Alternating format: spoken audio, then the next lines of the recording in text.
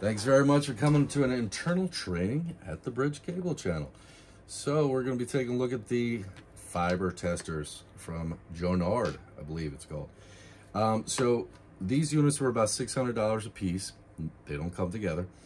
So you have power meter, you have your light source. So how does that work out? Light source, you could do the old school.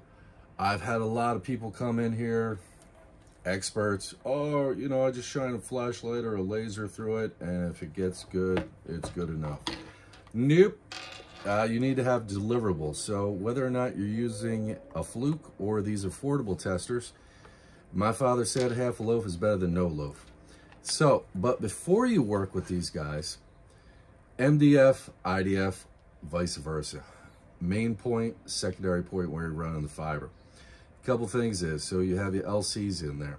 Before you test, you're gonna make sure your wave length is correct. Multi-mode, you guys can Google all the things. So we're just gonna um, test on this one. You wanna pick a wavelength of multi-mode, single mode, whatever the case may be. You want to reference, you're gonna hit the reference button. It's gonna zero it out. Now, this is the third time because I had some grammatical errors. Is that a word? And it's already been zeroed out. But this is what you do. Just hit that zero, you'll get this. Now, you will see some fluctuations in the real world. This is just in the office. Once you have it zeroed out, you hit save. Now, you'll notice that there is a five. Hopefully you can see that a five showed up. That's, it's not really like a big party or anything like that.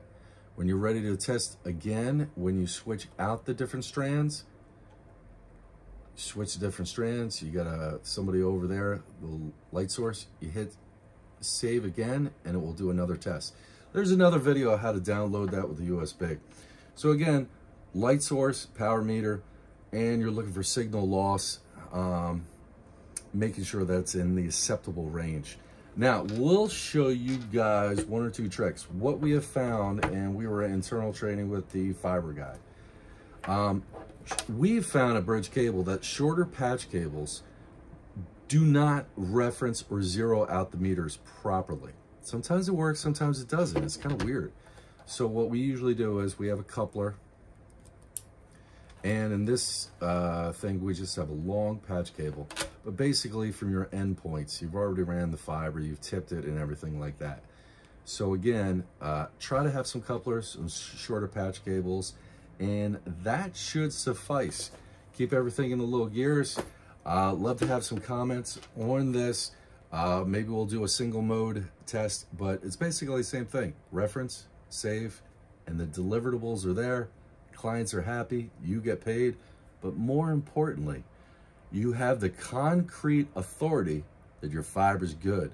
I've been in a lot of situations where reverse polarity, transceivers don't work, somebody didn't do the switch. You need to provide deliverables. Anybody who's running fiber that does not give you deliverables, you need to make a call to somebody else. Feel free to call us in the Philadelphia, New Jersey area. We love fiber, fiber splicing, you name it. 877-832-1206. Uh, Talk to you soon.